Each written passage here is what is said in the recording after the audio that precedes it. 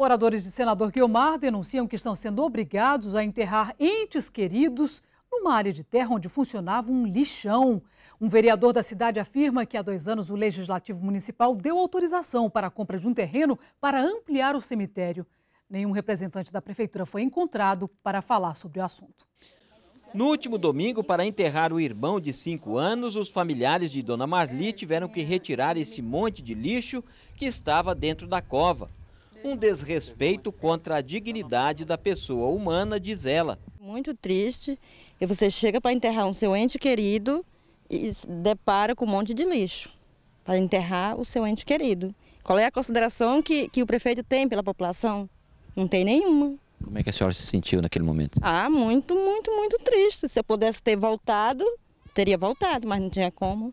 Tem que enterrar no lixo que ele escolheu para enterrar os entes queridos do, do município. Sem espaço na área do cemitério, novas covas começaram a ser abertas nesse terreno ao lado, onde funcionava um lixão. Desativado por contaminar uma fonte de água nesta vala, o local passou a servir de cemitério. Nas covas é possível ver resíduos de todo tipo de lixo. São plásticos, pedras, restos de asfalto e sandálias. Nessa, a escavação foi abandonada por causa do pneu enterrado. Segundo os vereadores, há dois anos a Câmara aprovou a destinação de recursos para a compra de outra área, mas até agora nada foi feito. Vocês já estiveram na prefeitura reivindicando soluções para esse problema aqui?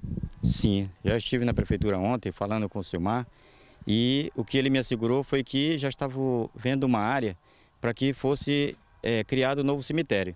Mas toda vez que a gente vai na prefeitura, a gente falar com eles, é a mesma conversa. E o que nós temos, é, o que nós queremos é que ele dê é, uma posição para a gente que a gente possa é, passar para a comunidade, porque o que nós estamos vendo é a nossa população sendo cada, cada vez mais sendo prejudicada com essa situação. Estivemos na prefeitura em busca de respostas, mas o expediente só funciona até às 13 horas.